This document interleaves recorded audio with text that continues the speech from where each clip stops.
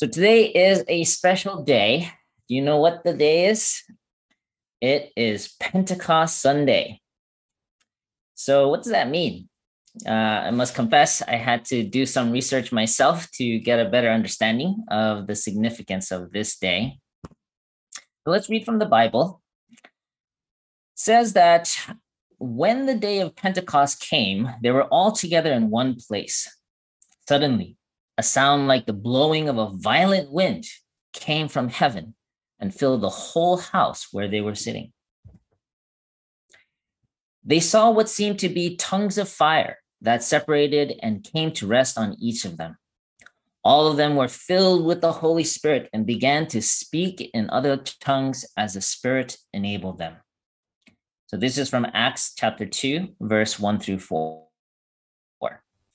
So the Pentecost is celebrated 50 days after Easter and is considered uh, for some as the birthday of the Christian church because it was only after the Pentecost that the the the Christian, the early disciples felt uh, fully convicted in who Jesus was and felt the confidence and fearlessness that was required to spread the gospel. And because of the Pentecost, Christianity really became a global religion. In one sense, if the Pentecost didn't happen, then Christianity may not exist or may not exist as uh, well as it, it's known um, in this day. So it's a very important uh, holiday. So just last night, I returned from the ACLC, uh, which is the American Clergy Leadership Conference 21st anniversary summit at IPEC. IPEC is our International Peace Education Center in Las Vegas. It's a beautiful place. Uh, I'll share a photo or two so you can see that.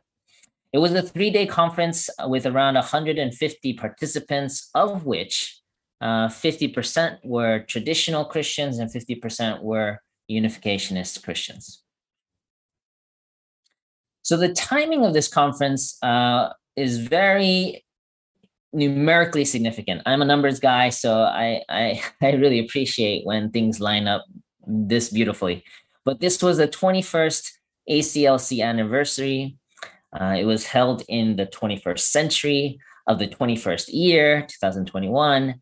And interestingly, at the beginning of the 21st week, I double checked and it's really cool. Uh, that Thursday happened to be also the 21st week of the year this year. So when we were preparing for the summit and Dr. Young, uh, our regional president, heard about it, he felt immediately that the significance of this event was that it represented 21 years of the American Clergy Leadership and Family Federation uh, coming together in unity, similar to the course of Esau and Jacob after 21 years. Uh, I don't know how familiar you are with that story, uh, but um, long story short, there was a, a, conflict between Esau and Jacob where Esau really wanted to kill Jacob, but he he escaped and he went through a 21 year uh, arduous course, and then they came back in unity as brothers and uh, had a God experience where they were able to embrace and let go of all the, the enmity that they held uh, for so long. Here's a photo of all of us gathered at IPEC, uh, the International Peace Education Center. Again, as I said, it's a beautiful place. It was the final um, kind of building that the late Father Moon had initiated.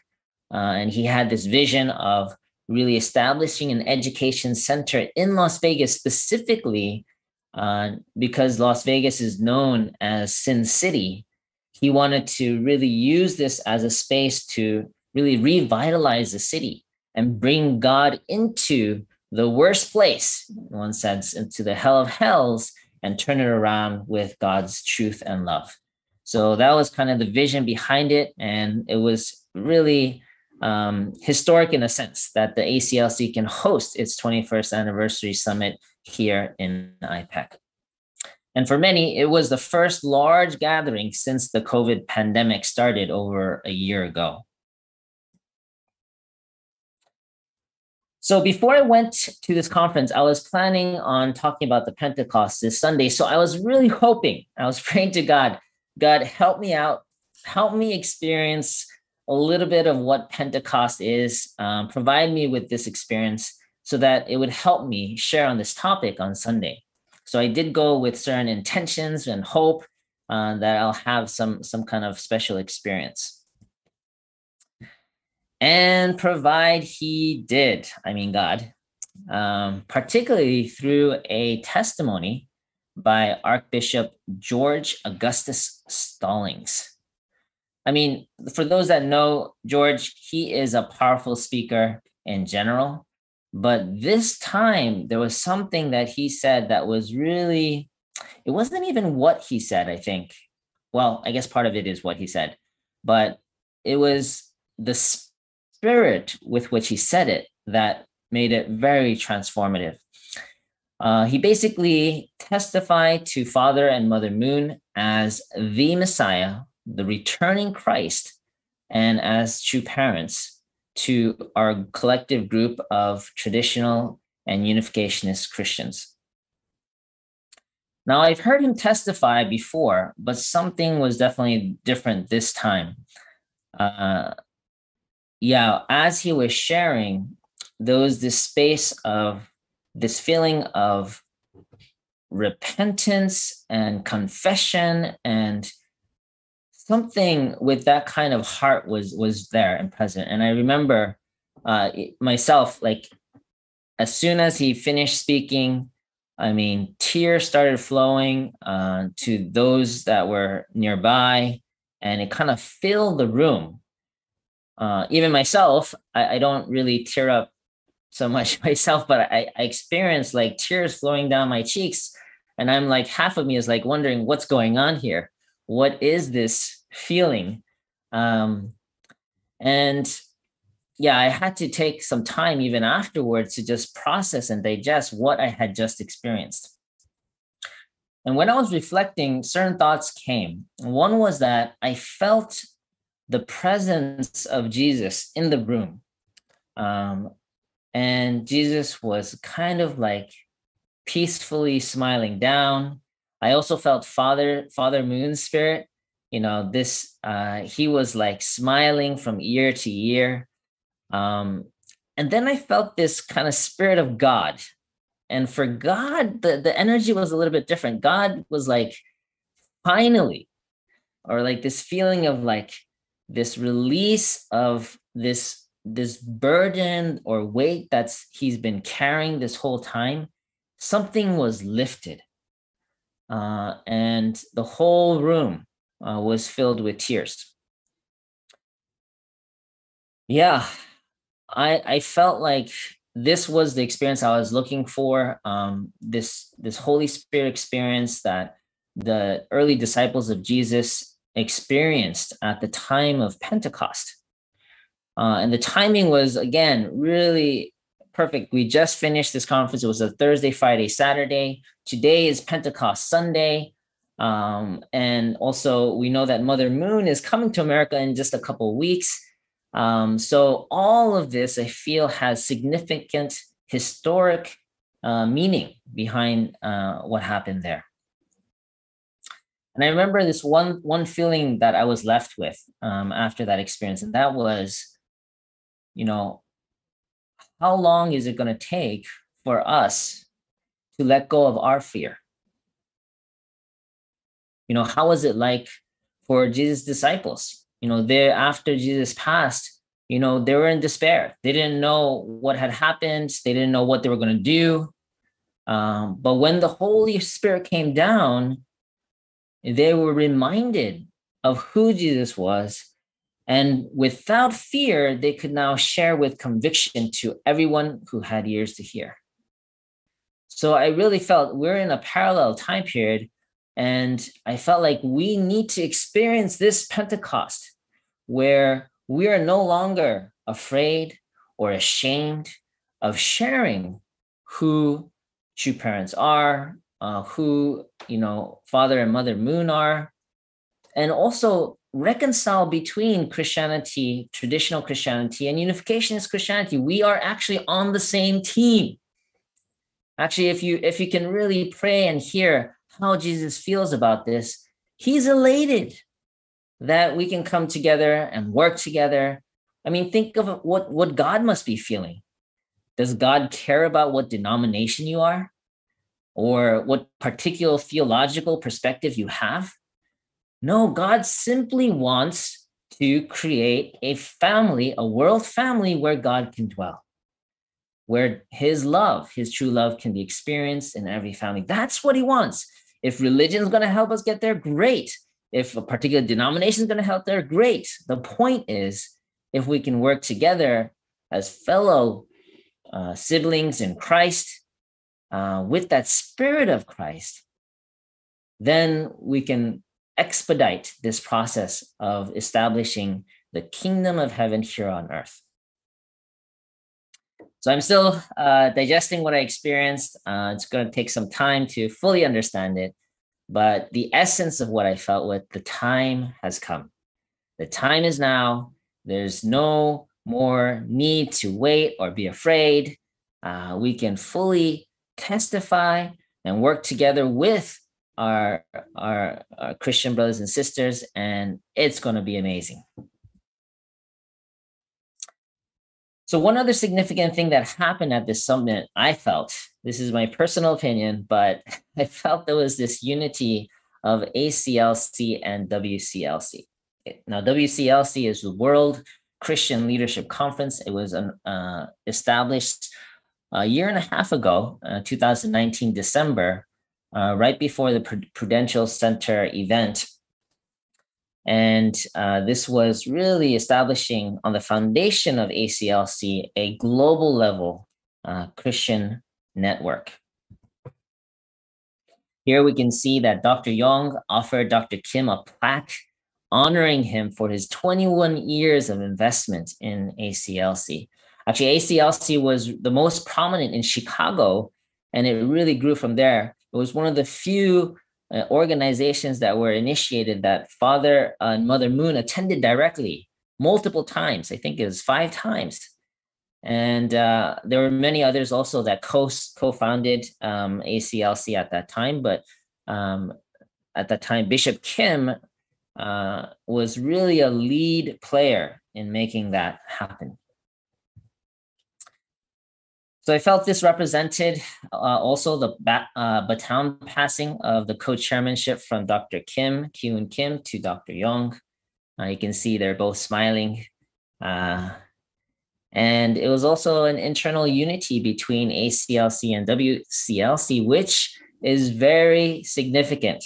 I know from studying Father and Mother's words that whenever there's a greater unity that needs to happen, in this case, you know, traditional and unificationist Christianity, there needs to be an internal condition of unity set first uh, as a condition in order for the greater unity to happen. And I felt like this unity of these two brothers, Dr. Young and Dr. Kim, again, this is a personal opinion, but I felt like this was the significant condition uh, that was also necessary for victory to happen.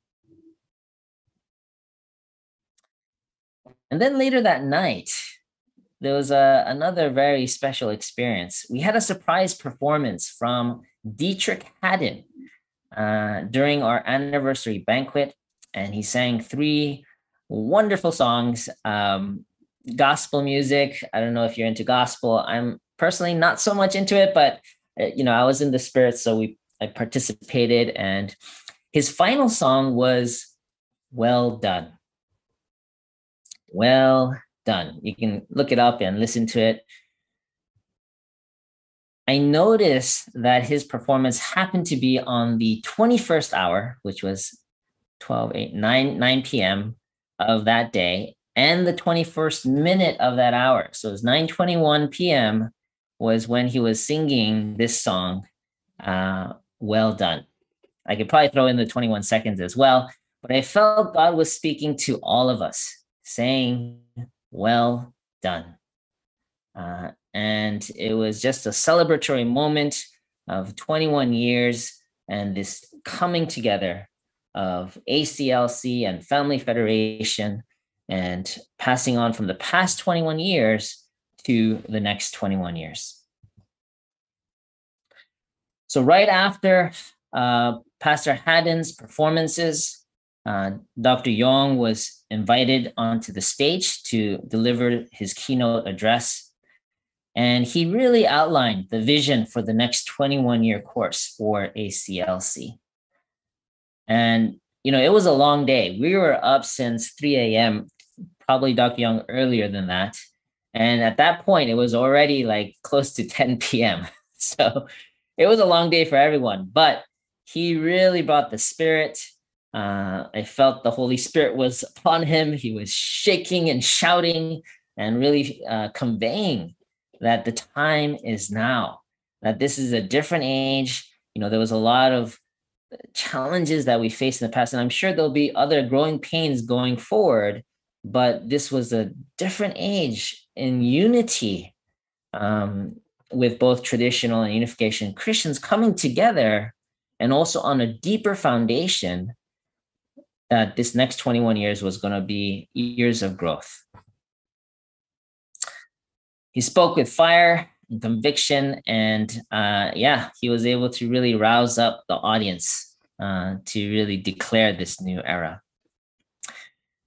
And finally, another significant thing that happened during this conference was this unity ceremony that was led by Dr. Luonne Rouse. Uh, he kind of coined this term of traditional Christians and unificationist Christians. And I'm kind of learning to adopt that language. So he had uh, first the unification Christians and the ACLC representatives come up from each of the five subregions to line up in front. And then he had representative uh, traditional Christians to come up uh, and line up facing us at the same time. Uh, actually, interesting fact. Um, we were talking about this, you know, this need, this intention, but it wasn't until that morning that we had decided to do this particular ceremony. And I feel like Dr. Rouse is really gifted with this ability to um, to do these ceremonies or like go with the spirit and create this this uh, historic or momentous experience through through ceremony. And while we were, uh, uh, he asked us to kind of join in hands together. I don't know if you can see me. I'm like the second in line here, um, representing subregion one. Uh, at the very front on the left side is uh, Archbishop Solange Lewis, who is the subregion one ACLC co-chair. And he read several passages, uh, Dr. Ra- did. Uh, the first was from Genesis chapter 33, verse 10. If I have found favor in your eyes, accept this gift from me. For to see your face is like seeing the face of God now that you have received me favorably. For those who don't know, this is uh, the, the message that Jacob said to Esau when they embraced. And if you know the story, Esau was prepared to kill Jacob. He lined up his whole army and he was ready to just strike Jacob down. But Jacob came and he brought all of his uh, wealth and things that he earned over the past 20 years of labor under Uncle Laban. And he sent them ahead of him and offered and said, Everything that I have, I offer to you. And then he Jacob went, and before he he met Esau, he bowed seven times and really humbly came to Esau and said, When I see you, your face, I see the face of God. And that allowed that enmity of 21 years to dissolve and for these brothers to embrace. And that was uh, the passage that Dr. Luonne Rouse uh, read to us while we were holding hands. And then he read one other passage uh, from Galatians chapter 5, verse 22, 23. Actually, he said this every pastor summit. And I didn't realize this was a verse, uh, but he says, But the fruit of the Spirit is love, joy, peace, forbearance, kindness, goodness, faithfulness, gentleness, and self control. And against such things, there is no law. Yeah, whenever Dr. Rouse reads this, I, I can feel this, this presence of the power of truth and love combined in this one statement. Because what, what this passage from the Bible says is that if you apply these truths, these values, there is no law. There is no theology that, that brings conflict. That if we practice these values, God has to be there. And so it was really encouraging us that beyond our perceived differences in theology or perspectives, that as long as we have these values, then God is there and that we can work together and that we can really build the kingdom together. So I really appreciated Dr. Rouse for leading us in, in this ceremony. Around uh, actually it was close to if you do exact numbers uh, we need to double check but i think it was around 144 people in the room. Again 50% unificationist christians 50% traditional christians and uh, he had all of us all the rest of the people in the room also stand. And uh, while we held hands dr rouse and dr young were on stage and they prayed over us. Um, and one more thing I want to mention is that this wasn't just any group of you know people who wanted to come to this conference. There was a requirement in order to come to this conference. They had to have uh, completed or started or at least committed to starting the 43 day process of marital renewal and experience the fullness of the salvific process of the holy marriage blessing. So all the people in this room weren't just people who knew us or know, known of us or just took the holy wine. These were traditional Christians who had completed or gone through the 43 days. So the the the level of understanding and ex- common experience was much deeper. And I thought that was really important to lead to this kind of experience. We embraced afterwards, and I felt this was uh, really a historic moment of unity what Bishop Stallings expressed the day before was substantiated in my eyes with, with this embrace. And this also represented that 21 year course of enmity between Jacob and Esau coming together in an embrace and in solidarity. Uh, I remember one uh, one person came up to me right after the ceremony, and she, and she was I think this was uh, Mrs. Jackson. She was like just in awe, like this is so historic. Like she, in all her years of ministry and working with ACLC, she's never experienced something like this. And I felt like this was a substantiation of a new era of working together. So, um, you know, having gone to this uh, through this experience at the summit, I couldn't help but notice that there were some parallels and this was also mentioned by Archbishop Stallings. You know, Jesus was not accepted by the chosen people, the traditional Jews, during his lifetime. In fact, the only people that accepted Jesus at the, at the time that he was alive was uh, the, the lepers, the, the prostitute, the, the people that were outcast from society the the you know there was a thief on the on the I believe it was the right side. Um, but point is only a handful or a few people and his closest disciples really understood who Jesus was during his lifetime. Of course, afterwards with the Pentecost, you know, uh, people were able to experience the Holy Spirit and they, they came to understand Jesus for who he was. But during his lifetime, it was only a few people. Similarly, Father Moon wasn't fully accepted by the chosen people of his time, the traditional Christians, while he was alive. Not fully. And I feel like this is our third chance with Mother Moon. The question is Will the chosen people of this age accept Mother Moon in her role as the only begotten daughter during her lifetime? No, I'm glad that we have history uh, to help us uh, learn from the past. But it's still up to us to apply that lesson in the current age to create a different result. If we can come in unity in, in Christ and attend Mother Moon in her role, we can fulfill our role as the chosen people in this age. But that is up to us.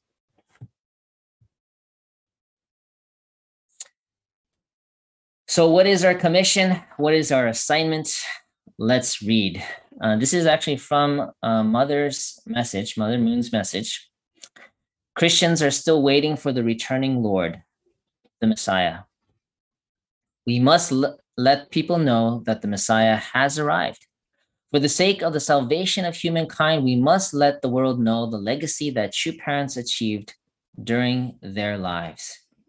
To realize world peace and one family centered on God while living in the same age as true parents, you need to do your best and fulfill your responsibilities as tribal messiahs. So, this message was given by Mother Moon in 2013. This is the year after Father Moon had passed away. In one sense, I feel like Mother Moon was giving Christianity another chance. Or rather, let me restate this. By the grace of God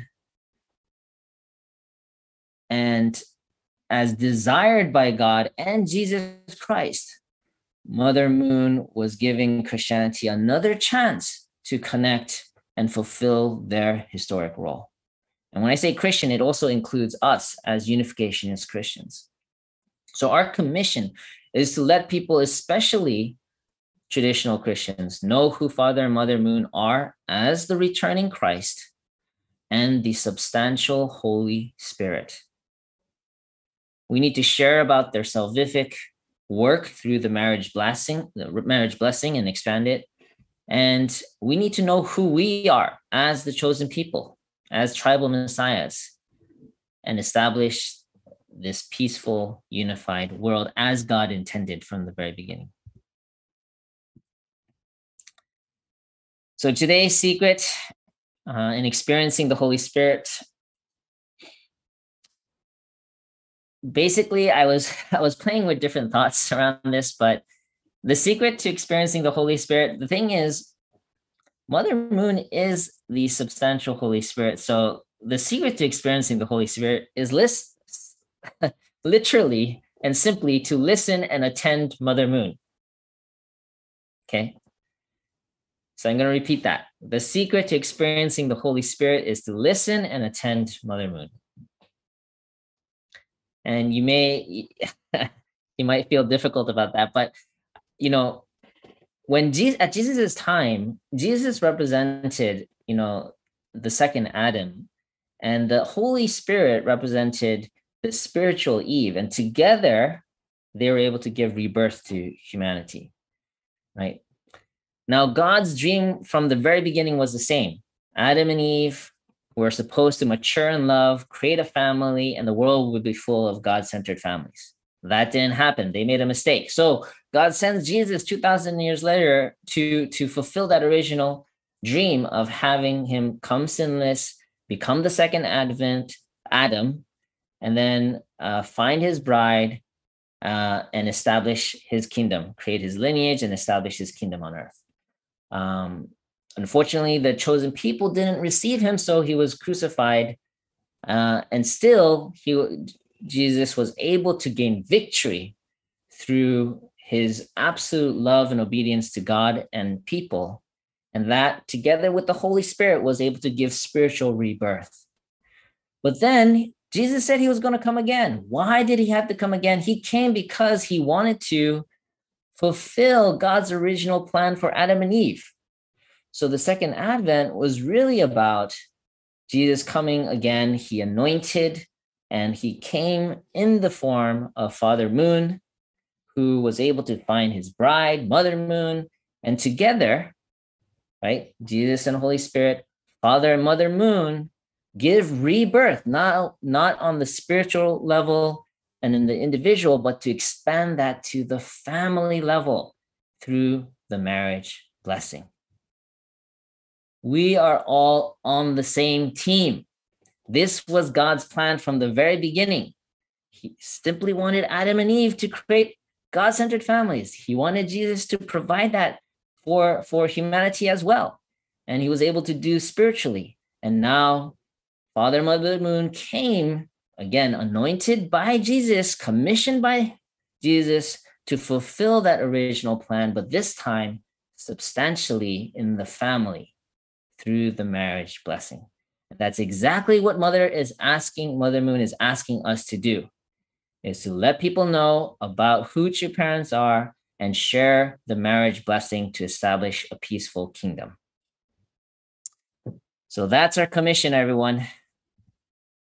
So this is our time of Pentecost. There's no better time than now to work with our brothers and sisters in Christ and to work with Mother Moon while she is still on earth we are in the same position as the disciples at the time of Pentecost.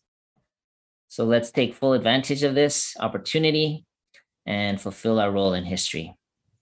So also let's take every opportunity to int- introduce Mother Moon and her story through sharing her memoir. So please remember to register yourself and invite your family and friends to join us in the Peace and Blessing Festival coming up on June 5th and let's really inspire the world about the marriage blessing and the blessing culture. This is really our task. It's not just an event, this is a tool. But the whole point is to share, testify about Jesus, about your parents, and their work, their salvific work of the marriage blessing.